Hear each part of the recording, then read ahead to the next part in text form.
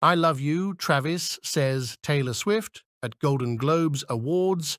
07th January 2024, pop singer superstar express her love for the Kansas City Chiefs superstar player Travis Kelce at 81st Golden Globes Awards 2024 from the Beverly Hilton in Beverly Hills, California.